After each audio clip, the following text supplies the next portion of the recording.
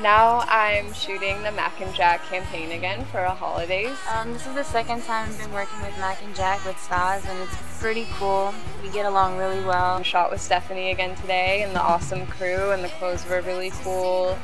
Now we're just starting off with something uh, kind of long and loosely wavy. Um, I've just blown out her hair with a little bit of volume spray to get a little bit nice body. Hi, my name is Kim Baker and today we're at the Mac and Jac shoot and I'm working with model Stephanie. These are her natural color lips. I'm just adding a little bit of a mauve color just to kind of pop it up.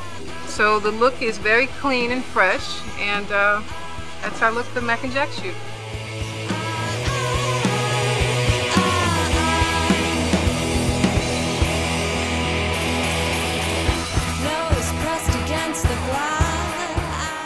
Had a lot of great clothes that are really great for winter, like New Year's and parties and holiday stuff. Lots of glittery stuff, but also really warm and cute sweaters. They're really casual and comfy.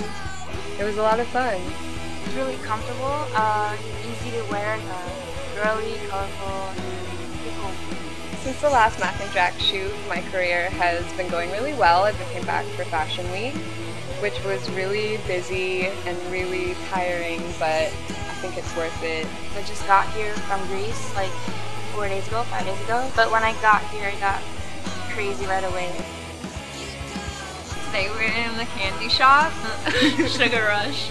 Sugar Rush. We're seeing so hyper now.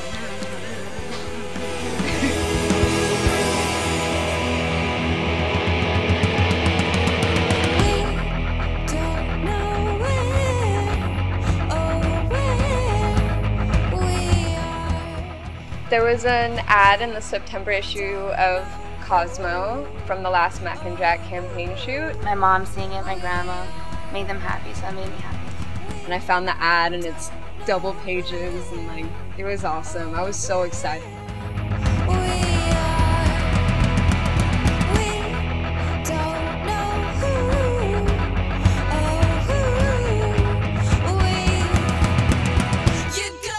In the next couple of months, keep tuned to the Mac and Jac Twitter, Facebook, Instagram. It will give you an inside look at what's going on in the fashion world through Mac and Jac.